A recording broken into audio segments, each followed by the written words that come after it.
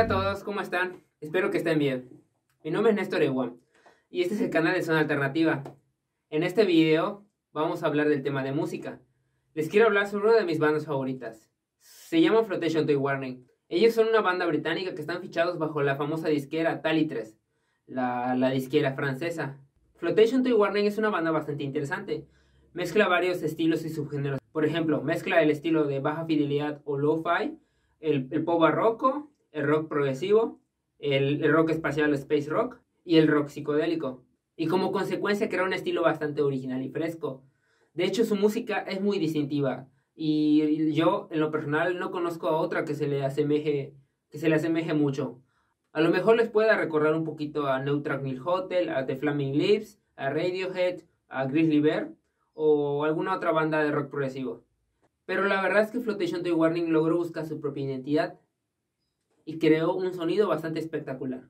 Y este hermoso estilo se ve reflejado en su primer disco, su disco debut, A Buffer's Guide to the Flying Deck, del 2004.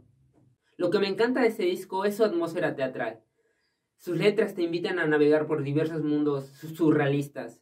En cada canción el vocalista te invita a formar parte de estas historias. Y la verdad, la experiencia es muy satisfactoria. La música es muy grandilocuente, tiene varios instrumentos desde violín, piano o alguna que otra trompeta. Escuchar el disco completo es una experiencia única, la verdad se lo recomiendo ampliamente. Este disco en particular, personalmente yo lo recomiendo como una escucha obligatoria.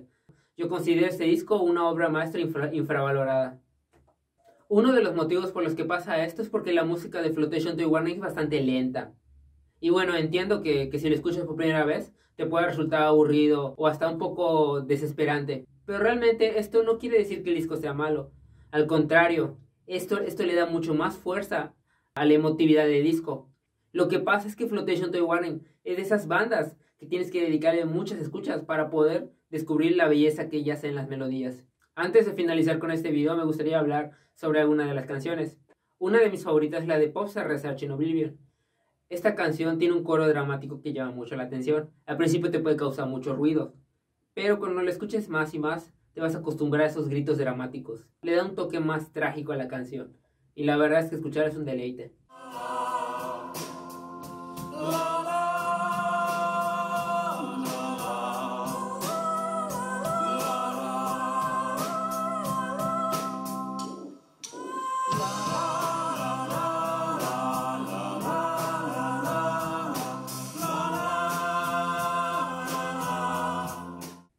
La otra canción que, yo considero una de las mejores que se han hecho de rock en los últimos 20 años lo hace Carolina Fordrowski.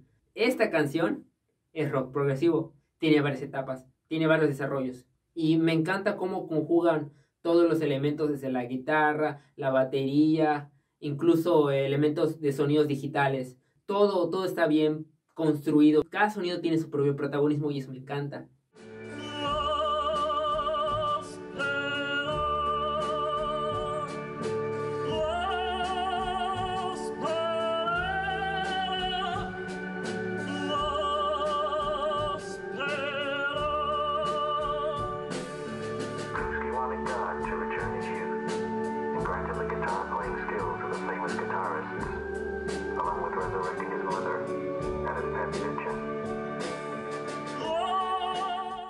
Otra de las canciones que me encantan es una bastante corta.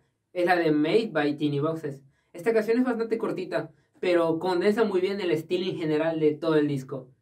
Tiene una letra bastante surrealista donde te da, básicamente te da la bienvenida a una fiesta surreal donde hay unicornios y otros seres fantásticos y te dice que te puedes sentar y luego te y luego escuchas escuchas las trompetas, los coros, es bastante hermosa la canción.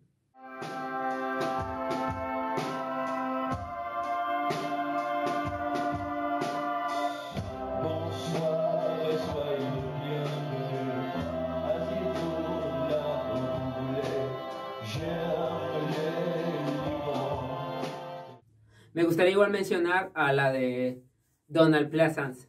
Esta es quizás la canción que más conflicto les puede causar a muchos al principio, porque esta canción no tiene, tan, no tiene tanta variedad sonora como las otras, y eso no la hace mala. Eh, de hecho, diría que es una de las más fuertes de este disco.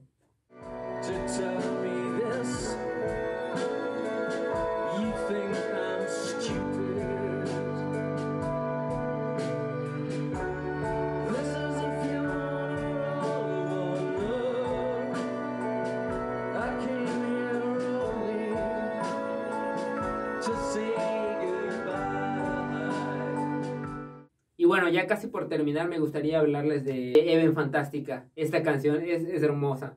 Los primeros minutos entiendo que a algunos les puede causar un poco de ruido, les puede molestar la guitarra ruidosa. Pero ya a la recta final de la canción es cuando, cuando todo se libera, alcanza su clímax. Es una experiencia fascinante. Se los recomiendo mucho.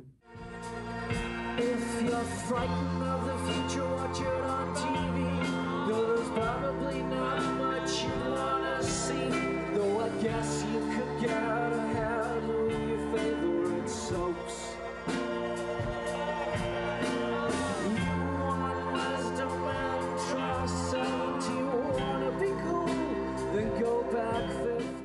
Me gustaría saber su opinión sobre este disco. La verdad, creo que, creo que este disco merece mucha más atención. Es una pena que haya pasado totalmente desapercibido. Me gustaría conocer sus opiniones y si les gustó, que lo compartan. Me harían un gran favor. Hasta pronto, cuídense.